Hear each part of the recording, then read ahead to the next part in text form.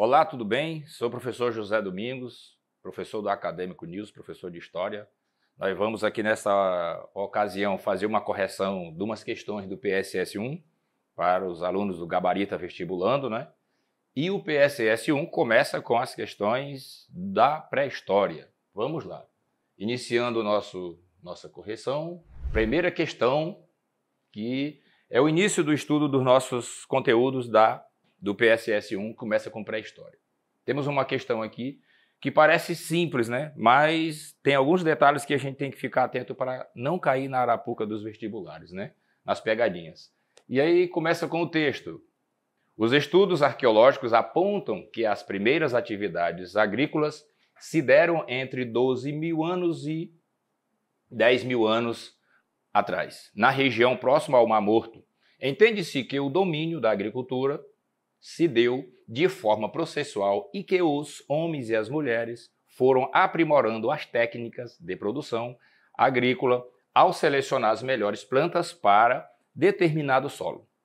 Por exemplo, esse processo possibilitou a transição da vida de caça e coleta nômade para as, o sedentarismo agrícola, possibilitando inclusive o aumento populacional em grande escala o processo descrito no texto é chamado de.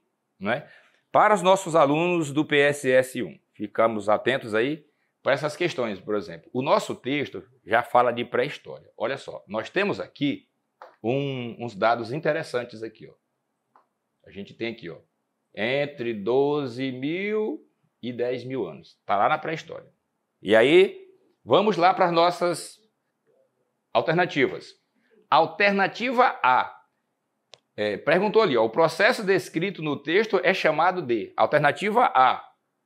Feudalismo e sistema feudal. E aí tá, né? Destoa muito do nosso conteúdo, que nós já sublinhamos aqui que nós estamos falando do período da pré-história, né? A primeira fase da nossa da história da humanidade. Nós estamos lá entre 12 mil e 10 mil anos de Cristo, que é o processo onde vai acontecer a sedentarização do homem. Então, feudalismo está muito para frente, né? só depois que o Império Romano cair. Tá certo? Então, alternativa A não condiz com o nosso texto. A alternativa B, êxodo rural e fuga para as cidades. Naquele período da nossa história, na pré-história, ali por volta de 12 mil anos antes de Cristo, 10 mil antes de Cristo, o ser humano estava no processo, né, até 10 mil, que a partir de 10 mil ele vai começar a sedentarizar-se, vai começar a criar as primeiras aldeias. Então a gente não tinha cidade. Então está errada a alternativa B. Vamos para mais uma, professor. Diz ali. A C diz monocultura e sistema de plantation. Nós estamos na pré-história. Na pré-história não tinha plantation. Nós vamos falar de plantation no Brasil colônia, né? Na plantação da cana-de-açúcar, os alunos do, do PSS1 viram isso só no PSS2, né? Não tem é, plantation nesse período. Na letra D, diz ali, ó, Revolução Neolítica ou Revolução Agrícola. Essa questão nos leva a essa alternativa entender que, de acordo com o nosso texto, essa é a resposta certa. Porque a letra E, que é a última alternativa, diz, ó, rotação trienal de cultura ou agricultura transgênica, né? Agricultura transgênica, ó, isso é coisa do século 20 e 21. Né? Nós estamos lá antes de Cristo, né? 10 mil anos antes de Cristo. Então, na nossa análise, a resposta da questão 1 é a letra, ó, a letra D. Revolução Neolítica ou Revolução Agrícola. Porque nesse período, necessário se faz que nós possamos destacar alguns pontos aqui, para que vocês possam entender melhor os conceitos que definem esse período da nossa história, que sai do Paleolítico, né? Nós estamos no Neolítico e depois tem a Idade dos Metais. No Neolítico, umas características que definem muito bem sedentarização do ser humano, domesticação das plantas e dos animais, invenção da roda, da carroça, a formação das primeiras aldeias, tudo está ali naquele período. Por isso que é chamado de Revolução Neolítica, né? E a Revolução Agrícola. Na Revolução Agrícola, nós podemos definir alguns conceitos que são muito, muito importantes para vocês, estudantes do PSS1. Por exemplo, com a Revolução Agrícola, a sedentarização do homem, a produção de alimentos, que ele deixa de ser só caçador e coletor, ele passa também a produzir alimentos para o seu sustento, o homem passou essa dieta alimentar, com a inclusão na sua alimentação de, dos gêneros que ele passou a produzir, ele passou a viver mais e melhor naquele período né, da Revolução Agrícola e da Revolução Neolítica. E aí você tem uma longevidade do ser humano, você vai ter a formação das primeiras aldeias, você vai ter também ali a gente vai ter aquele processo que nós vamos ter a, a separação, né? Você vai ter a segregação ali naquele período. Nós vamos ter uma estratificação social. É nesse período, com a formação das primeiras aldeias, só para esclarecer para vocês e tornar mais claro o porquê da, da alternativa D, é que aqui vai se definir, por exemplo, o chefe religioso, o chefe político vai se definir nesse contexto aqui por volta daí de 10 mil anos né, para o período da Idade dos Metais. Então, não muito difícil a nossa primeira questão para os nossos alunos do Gabarita Vestibulando, do PSS 1, né? Uma primeira questão sobre pré-história, tá aí, letra D, Revolução Neolítica ou Revolução Agrícola. Tranquilo? Podemos ir para mais uma. Segunda questão. Vamos nós. A gente vai ter aqui, vamos para a segunda questão. Tá ali, ó. Virou, ó. Resposta tá aqui bonitinho, né? Nessa cor lilás aqui, ó. Letra D, a resposta da nossa questão de número 1. Um. Questão 2. Na questão 2, nós saímos da pré-história, nós vamos para a Antiguidade Oriental, vamos falar do Antigo Egito. Né? Quando você pegar as, as, alternativas aqui, que falar de Grécia, de Mesopotâmia, você fique atento que o nosso texto está falando de Egito Antigo. Está lá, considere o seguinte trecho. A economia e sociedade no Egito Antigo. O reino antigo compreende as dinastias de quatro séculos antes de Cristo a oito séculos né, desse período aí. Com o apogeu na primeira dinastia, né, época da construção de enormes sepulcros, as três grandes pirâmides de Giza, né, perto de Mênfis, pelos faraós, Kuf, né, Queops dos gregos, Canfra, né, e Kefren, e Mequara, né, Miquerinos. Os dois primeiros, em especial, levantaram monumentos de tal magnitude que supõem um sistema tanto político quanto econômico muito bem organizado. Ou seja, Antiguidade Oriental, Egito Antigo, né, uma das civilizações mais antigas, depois a gente fala de Mesopotâmia. O que vai perguntar para vocês com relação a esse texto, com essa série de nomes aí desses, desses faraós? A partir do excerto acima e dos conhecimentos acerca das políticas e da economia do Egito, do Egito faraônico e das antigas sociedades africanas, é correto afirmar. Vamos lá. Mundo Egito, é, Egito Antigo. Letra A. A escravidão era a base econômica da, do Antigo Egito e a construção de pirâmides e outras obras públicas dependiam do trabalho forçado. Vamos ver aqui, ó. Um exemplo. A gente vai ter aqui. Vamos lá. Olha só. No, a escravidão era a base econômica do Egito Antigo. Essa parte aqui, ó, está na letra alternativa A, está errado. Por quê, professor? Porque no Egito Antigo, a base do trabalho no Egito Antigo, o modo de produção do Egito era o modo de produção asiático. O modo de produção asiático ele era caracterizado pela servidão coletiva, não era escravidão, muito parecido, mas uma coisa é uma coisa, outra coisa é outra coisa. E que vai dizer o quê? Que a servidão coletiva ela se caracterizava pelo trabalho compulsório, ou seja, você era obrigado a ir trabalhar para o faraó. Tá certo? Então, você não tinha escravidão, porque, professor, nós vamos ver mais adiante que a gente vai ter modo de produção escravista no mundo grego e romano. A gente vai ver isso lá. Aqui o modo de produção no Egito era o modo de produção asiático. Vamos para a segunda alternativa. A alternativa B, sobre o nosso texto diz, ó, à medida que as sociedades egípcias se tornaram politicamente mais complexas, pirâmides deixaram de funcionar como sepulcros e se tornaram templos conhecidos como zigurate. Fácil de entender para aqueles que já fizeram todo o percurso dos conteúdos da pré-história ao final da Baixa Idade Média do conteúdo do, do PSS1. Por exemplo, na, no Egito Antigo, a gente tinha, e estão lá até hoje as pirâmides. O nome delas sempre foram pirâmides, né, daqueles, daquelas construções faraônicas. O zigurate, que o texto cita aqui, ó, zigurate a gente vai ter na Mesopotâmia. Aqueles templos, na, que era muito parecido com a pirâmide, tinha pouca diferença, é na Mesopotâmia são chamados de zigurates. Né? No Egito, eles sempre foram mantido o nome de pirâmide. Então está errado, porque não foram, nenhum momento eles foram chamados de zigurates, né? tiveram essa denominação. Então, letra A e B está errada da questão número 2. Seguimos nós com o estudo do Egito Antigo. Letra alternativa C. Na sociedade egípcia, o faraó era o único proprietário de terra e essa concentração econômica permitia o gosto em obra, o gasto em obras monumentais como pirâmides e templos.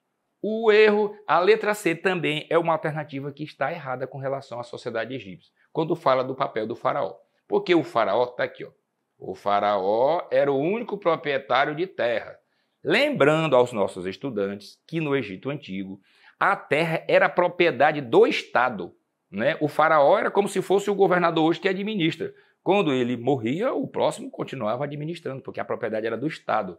Até que, por exemplo, no Egito, é uma bom que se, se fale aqui para vocês entenderem melhor, não tinha propriedade privada, tudo era propriedade do Estado, por isso que o trabalho era compulsório, as pessoas trabalhavam para o Estado no sistema de servidão coletivo, tá certo? Então, o faraó não era o único proprietário das terras do Egito.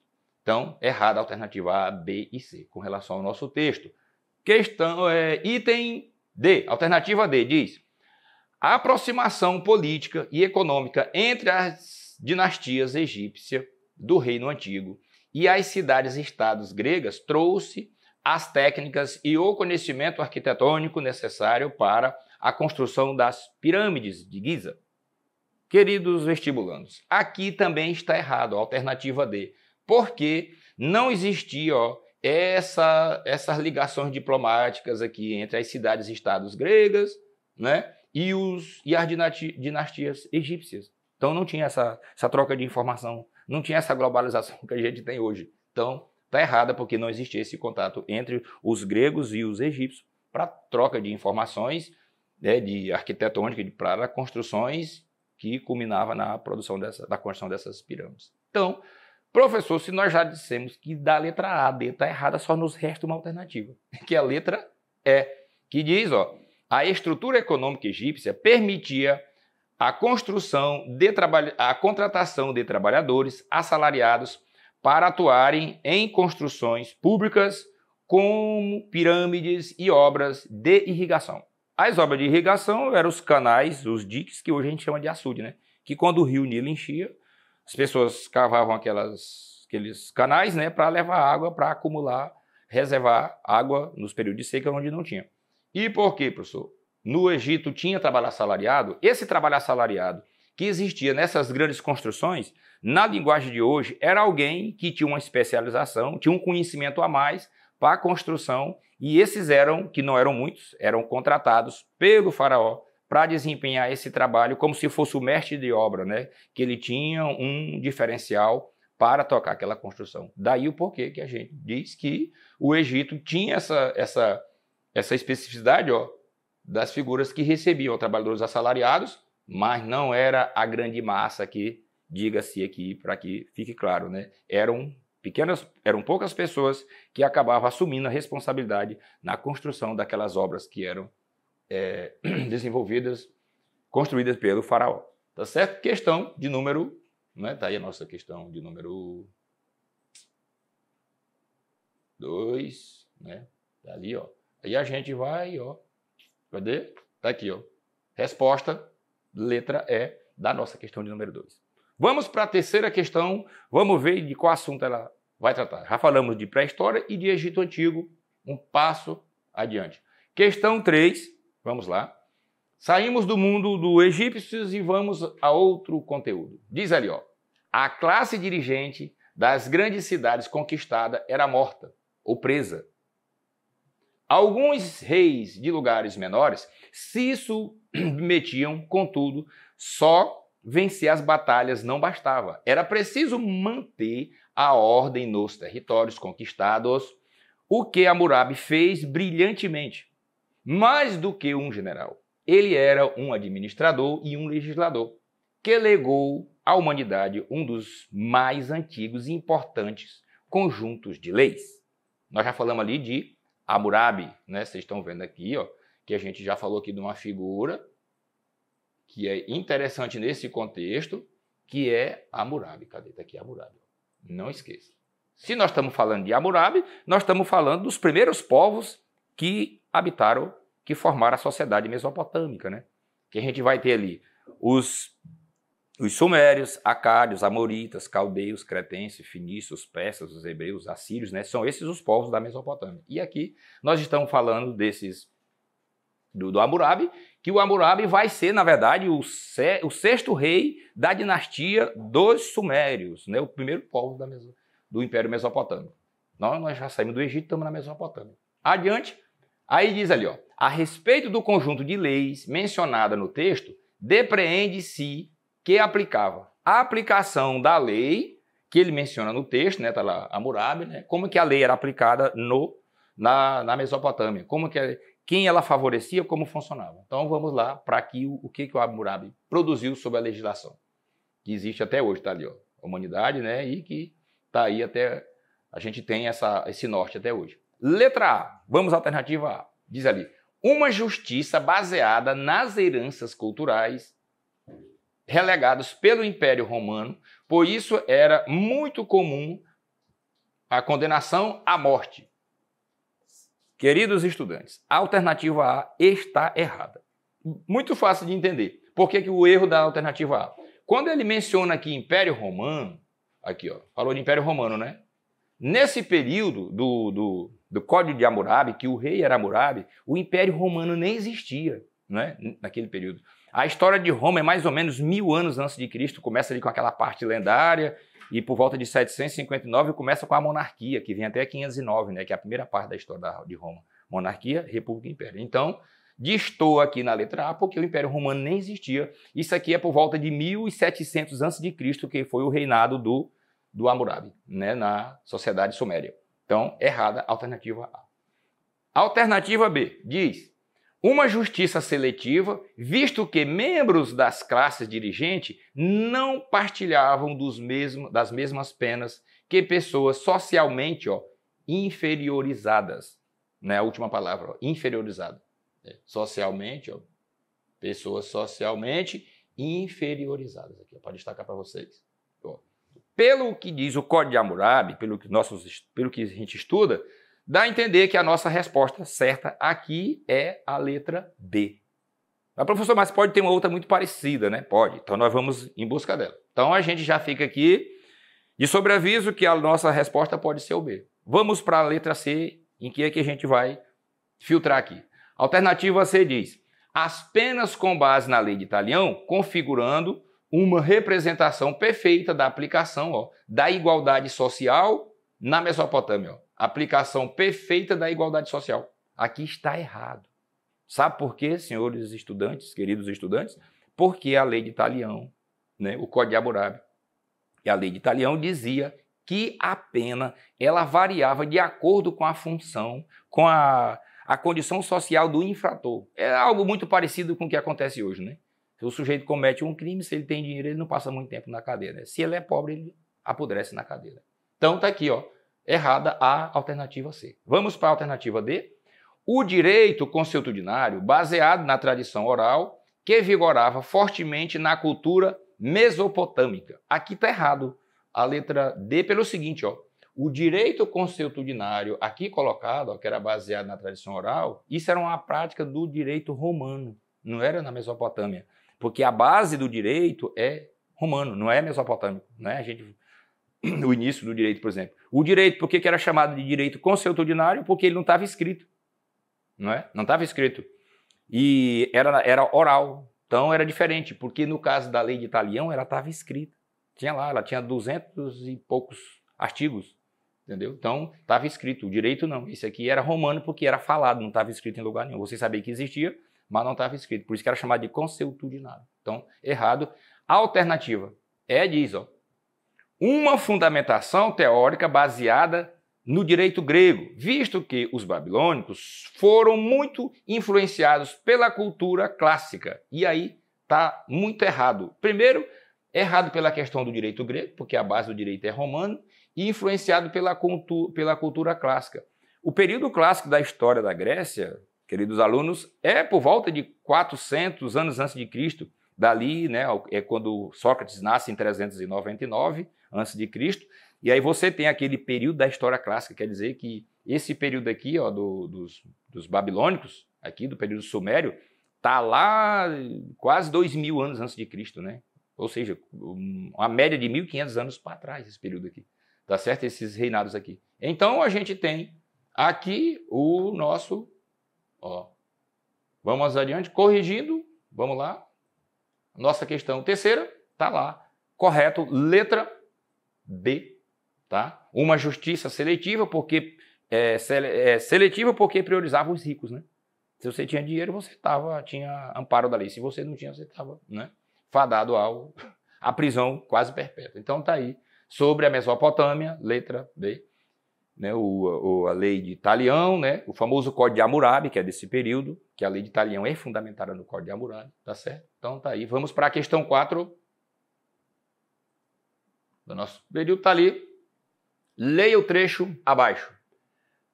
Ao apoiar-se politicamente nas massas populares, em favor dos quais tomava diversas medidas, a tirania promoveu a configuração do demos como força política mais estruturada do que o fará até então. Ele, ela significou, assim, a destruição não dos aristocratas, mas da sociedade e do regime aristocrático, mais ou menos exclusivo sobre a democracia ateniense assinale a alternativa incorreta. Outra coisa que eu preciso chamar a atenção dos nossos vestibulandos aqui, do Gabarita Vestibulando.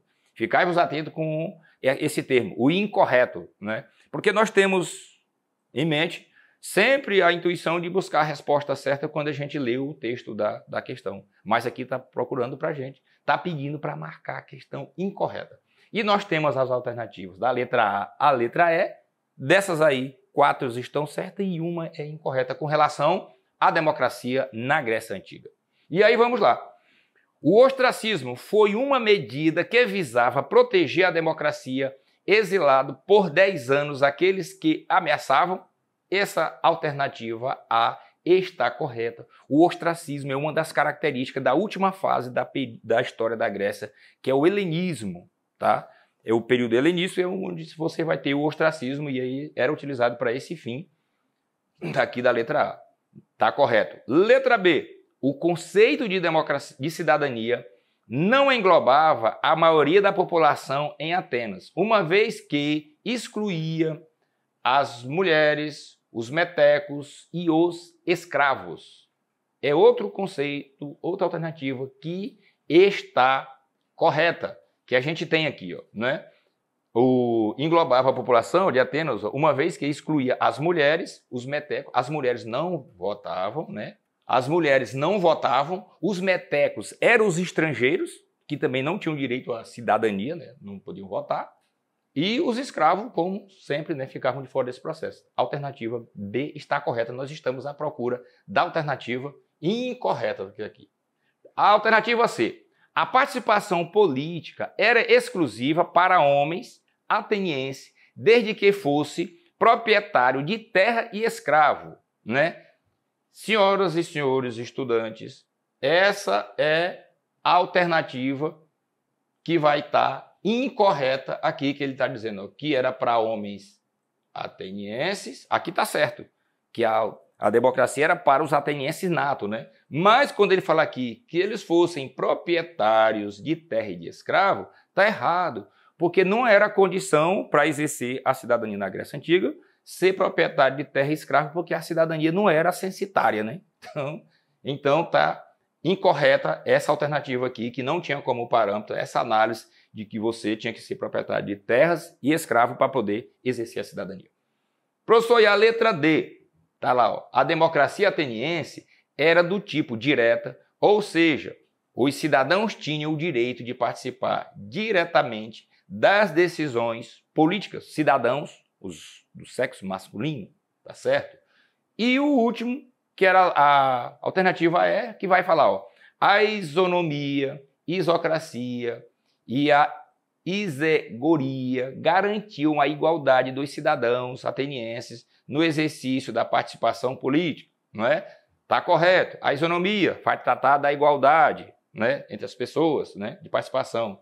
A exegoria vai falar, vai tratar do direito, por exemplo, de que o, o representante do povo, lá na Apela, que a Apela era a Assembleia dos, dos gregos, né, ele vai ter o direito de fala. Né? E a isocracia vai falar do, de que é o sistema político que todo cidadão tem o direito de se, de se expressar né, e igualdade.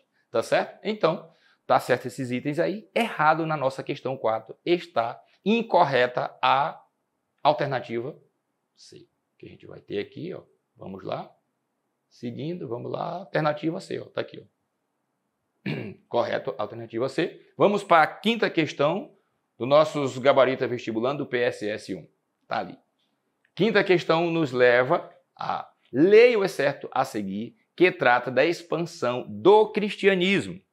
Democracia, nós estávamos falando da sociedade grega, período clássico, né? Quando surgiu a democracia, criado por uma figura chamada de Clístenes, que, né, né, por ironia do destino, era um tirano, né, o Clístenes, né? Mas criou a democracia, embora fosse para uma parcela reduzida da sociedade. Nós vamos ter agora, vamos para o mundo romano, vamos falar do cristianismo, muito presente nas questões dos, dos vestibulares. E ali está, ó, nos seus primeiros tempos, a igreja parecia envolvida numa contradição que, no entanto, se revelaria à base do seu poder na Idade Média. Ao negar diversos aspectos da civilização romana, ela criava condições de aproximação com os germanos. Ao preservar vários outros elementos da romanidade, consolidava seu papel no seio do nosso, da nossa população população do império. Desta maneira, a igreja podia vir, pode vir a ser o ponto de encontro entre aqueles povos nascidos nos quadros do Império Romano. A igreja ia aos poucos preenchendo os vazios deixados por ele. A igreja passava a ser herdeira natural do Império Romano. Está aí o texto, um tanto quanto um pouco extenso, né? Mas é bom para vocês ir treinando aí a compreensão dos períodos, dos fatos históricos, né? Do período romano, porque se a gente encontrar uma questão dessa natureza na, na nossa prova do vestibular, a gente já está preparado para isso, né? Que o objetivo do nosso trabalho aqui é isso, né? Preparar-os para lidar com questões dessa natureza. E aí pergunta aos senhores: assinale a alternativa que não condiz com a ascensão e com a afirmação do cristianismo na da igreja cristã. E aí vamos lá. Então nós vamos ter a, qual é o nosso, o nosso foco aqui? Nós estamos perguntando, né? Ó, aquela que não condiz ó, com a ascensão, não é? Então vamos lá. Letra A. Vai dizer ali: a queda do Império Romano foi motivada pela perseguição aos cristãos. Seguindo, cujas crenças colocavam-se com o respeito religioso dos romanos pelos seus imperadores, que eram considerados como os deuses. Senhoras e senhores, pelo texto que nós temos ali, se aqui está falando que o fim, né, a queda do Império Romano está motivada com as perseguições religiosas aos cristãos, já dá para a gente entender, pelos nossos conhecimentos, que a alternativa, essa alternativa não condiz com o texto que nós temos ali, a questão do, do cristianismo. Pode até ser que a gente tenha uma outra, né, professor, que se pareça com essa questão, né, em alguns detalhes. Mas, a princípio, a gente deixa sobre suspeita aqui a letra A, que é aquela que os elementos constituintes da pergunta não condizem com o, a queda do Império Romano. Letra B. Tá lá. A ascensão do cristianismo em Roma foi lenta. No início, os cristãos foram perseguidos e somente no século IV, no reinado do imperador Constantino, a igreja cristã pôde atuar livremente. Essa questão está correta. Alternativa B está correta. Por quê? Ó? O, a ascensão do cristianismo está aqui. Aqui é século. Aqui foi, por exemplo, em século IV, 313, por exemplo. O Constantino fez um documento chamado de Edito de Milão. Com o Edito de Milão, em 313, os cristãos que eram perseguidos passaram a ter direito ao culto, né, naquele período. Então, a perseguição terminou. Então, está correto. Alternativa C. Na transição entre a Idade Antiga e a Idade Média, as massas miseráveis convertiam-se ao cristianismo pois esperavam que Cristo, ao retornar ao mundo, os livrasse da opressão. É outra questão que está correta com relação ao texto e à ascensão da igreja do cristianismo né, no Império Romano. Letra C. Mais uma, vamos lá. O D diz: ó, o poder da igreja cristã na sociedade medieval era decorrente da forte centralização do governo eclesiástico, sediado em Roma, em face à pulverização do poder político dos senhores feudais, leigos e da consequente sujeição destes ao clero romano. É outra questão que está correta a letra D, porque na Idade Média você tinha uma sociedade trinitária. Você tinha no, no ápice da pirâmide o clero, os nobres e os vassalos. Por isso que ele vai dizer aqui que os senhores feudais eram sujeitos, né? Consequentemente, eles eram submetidos à sujeição da igreja, que é aqui o termo, sujeição da igreja, que a igreja era a primeira instituição na Idade Média, né? nessa transição do mundo antigo para o mundo feudal. A alternativa é, última alternativa em análise, da nossa questão sobre o Império Romano diz, a igreja cristã desempenhou papel fundamental na sociedade feudal, não só por ser grande proprietária de terras, mas também por ter moldado toda a concepção de mundo que permeava diversas camadas sociais. Na Idade Média, senhoras e senhores estudantes, a Igreja Católica ela tinha influência na sua vida, na vida das pessoas da época, na vida econômica, social, política e social. A igreja se emitiu o cristianismo na sua vida em todos os aspectos. Além de que a igreja, na Idade Média, ela detinha o monopólio do conhecimento. Né? O, o saber sistematizado só se dava através da igreja, na sua grande maioria. Só na Baixa Idade Média, a partir de Tomás de Aquino, é que o, a questão do ensino começa a se abrir para outras pessoas que não são da igreja, com o processo chamado de escolástica. Tá bom? Então, como nós havíamos colocado aqui no início, ó, a questão que está errada aqui na, na 5, alternativa, que não condiz, é a alternativa, vamos lá, alternativa A. A queda do Império Romano foi motivada pela perseguição aos cristãos. Não foi pela perseguição aos cristãos. A queda do Império Romano, ela foi motivada pela escassez de mão de obra, porque o Império Romano eles invadiam muitas, muitos territórios, pegavam as pessoas para ser escravo e no final do, do, do Império, da metade do Império Romano para o final, essas invasões elas vão diminuindo e, consequentemente, a mão de obra que eles traziam para atuar na agricultura no Império Romano foi se escasseando. E uma das causas da queda do Império Romano uma delas, que a primeira foi a escassez de mão de obra, que o escravo era um prisioneiro de guerra nesse período aqui. Não esqueça que aqui, assim como na Grécia, a mão de obra era escravista. Né? Então, o que levou o fim foi o fim das invasões, a diminuição do, do, do, da mão de obra e não a perseguição aos cristãos. Tá certo? Então, vamos para a última questão da nossa série do Gabarita Vestibulando dos nossos queridos alunos do PSS1 do nosso Acadêmico News. Vamos lá? Diz ali: leia o trecho abaixo. Os séculos 14 e 15 na Europa Ocidental foram palco de acontecimentos que apontam que apontam marcar o colapso da ordem medieval. É o caso da crise do papado, da Guerra dos 100 Anos, das crises alimentares, da peste, entre outros. Até pouco tempo, os historiadores costumavam utilizar expressões como outono da Idade Média ou ainda crise do sistema feudal para designar o conjunto desses acontecimentos. Nós saímos do Império Romano e viemos para uma questão na Baixa Idade Média, né, que é a nossa última questão. Então, nós vamos ter sobre os séculos 14 e 15 na Europa Ocidental, assinale a alternativa correta.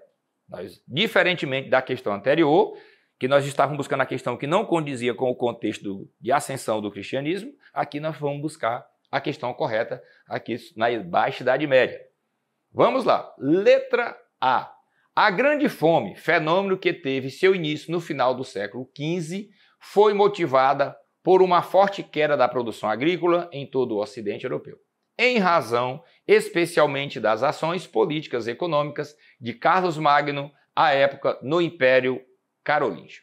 Senhoras e senhores, vamos detalhar aqui o que nós temos de erros aqui na nossa primeira alternativa. Na alternativa A, quando ele diz aqui que a fome começou no final do século XV, que é o, os, os anos 1400, aí já está errado, porque a, a crise do século XIV, ela, do, da Europa, é do século XIV, não do XV. Ela começa na metade do século XIV, vai se acentuando, né? Então já tem um erro aqui. E um outro erro da alternativa A é quando ele menciona o Carlos Magno, do Império Carolíngio. Império Carolíngio. O Carlos Magno foi lá no século VIII, né, para o 9 ali, que é o Império Carolíngio. Não é aqui no século XIV. Então está errada a alternativa A por esses detalhes.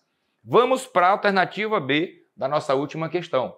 O B diz: a peste chegou ao Ocidente europeu aproximadamente a partir de 1347, ó, aqui é século XIV, lembra aqui, ó, é século XIV, não 15, né, que é 14, estima-se que tenha perecido de um terço a metade da população do continente. De modo geral, as cidades, pela densidade populacional e pelas precárias condições de higiene, sofreram mais do que o campo. Leva-nos a entender que a resposta da nossa alternativa sobre esse período da crise do século XIV é a alternativa B. Porque na alternativa B, ele fala que ali mais ou menos ó, um terço ou a metade da população da Europa morreu, que a Europa tinha cerca de, de 70 milhões de pessoas naquele tempo e 25 milhões desse povo morreram todinho com essa com a peste negra. E a gente vai ver as outras questões se tem algo que parece com a alternativa B. Vamos lá, já vimos que o A está errado, vamos para a letra C. A letra C nos leva, nos leva a entender o seguinte: o conflito, a que chamamos de Guerra dos 100 Anos, foi, na verdade, uma série de guerras que opuseram Inglaterra e Alemanha no período entre 1337 a 1453. A razão deste longo e penoso conflito foi a disputa por colônias de exploração nas recém-descobertas regiões da América e África. Essa questão tem uns erros grotescos. Por exemplo, a Guerra dos 100 Anos não foi entre Inglaterra e Alemanha. A Guerra dos 100 Anos foi entre Inglaterra e França e não Inglaterra e Alemanha. Como aqui diz, né? Ó, tá aqui, ó. Inglaterra e Alemanha. Foi Inglaterra e França, né? Que aí entra aquela história da Joana d'Arc que você já conhece. Então vamos lá. Então, errado. E outro erro aqui, ó, que ele vai falar aqui das descobertas da região, da África. O, o ponto que você pode usar aqui, porque a Guerra dos 100 Anos, aqui tem um dado que está certo, que o período foi esse, né? que são 116 anos, de 1337 para 1453, são 116. Mas foi entre Inglaterra e França e não Inglaterra e Alemanha. O erro está ali. Tá bom? Então, tira fora.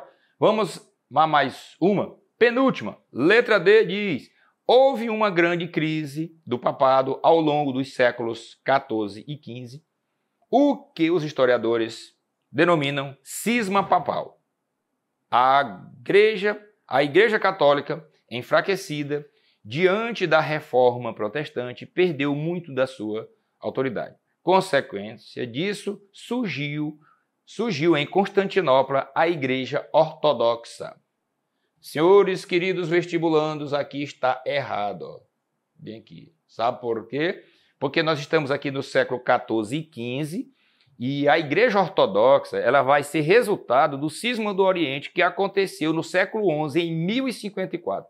Foi quando a Igreja de Roma, né, na verdade a, a Igreja de, é, de, de Constantinopla, né, onde hoje é Istambul na Turquia, eles racharam com a Igreja de Roma e que a Igreja de, que tinha sido criada pelo Império Romano, lá no século V passou né, a ter seus destinos próprios, abandonaram a igreja do, do papado romano. Então, não é desse período, a igreja ortodoxa é lá do século XI, 1054, que é o famoso cisma do Oriente, que é a separação. Não esqueça disso. Então, alternativa aqui está errada por essas questões. E a letra E diz, ó, a despeito da existência de greves, de graves problemas sociais, a Europa Ocidental não presenciou, no período do século 14 e 15, qualquer movimento revoltoso. Aqui já está errado, né? Não presenciou, não presenciou qualquer movimento nesse período, né? Que ele vai dizer aqui, ó. Não presenciou no período do século 14 e 15 qualquer movimento revoltoso. Aqui teve uma série de revoltas camponesas, urbanas e rurais que são o epicentro da crise do feudalismo, que vai levar à decadência do feudalismo, são as crises. E aqui está dizendo o contrário, que a Europa não presenciou nenhum movimento dessa natureza. Né? Ainda diz mais ali, ó, de origem camponesa. Todos na época, até, até mesmo os mais pobres tinham pleno acesso à educação e à participação nos governos né, regionais. E aí está tudo errado, né? porque naquele tempo o pobre não tinha participação né, de, de, em governos e muito menos educação, porque a educação era muito restrita aos domínios da Igreja Católica. Tá certo? Então, aqui a gente tem, vamos lá, a nossa questão, só confirmando a nossa sexta e última questão do gabarito vestibulando do PSS1, está lá, ó, a alternativa correta, alternativa B. A peste chegou ao Ocidente Europeu, aproximadamente nesse período, e aí a metade do povo morreu, população, né, de modo que as cidades, né, na época tem até um filme que eu sugiro que vocês tiverem tempo assistir, chama-se Morte Negra. Você vê que cidades com 5, 6 mil habitantes, por exemplo, aqueles povoados ficavam só os animais, as pessoas morriam tudo lá, mostra muito bem isso. Tá certo? Chama-se Morte Negra, o filme sobre esse período que quase dizimou a população da Europa. E aí, senhores, muito obrigado aos nossos alunos e estudantes do nosso Acadêmico News, do Gabarita Vestibulando, do PSS1. Eu espero que essas questões venham né, para tirar as dúvidas dos senhores, para que vocês possam obter o sucesso desejado na prova de vocês do PSS1 no final do ano, acho que lá por volta do metade de novembro. Um abraço a todos, fique com Deus.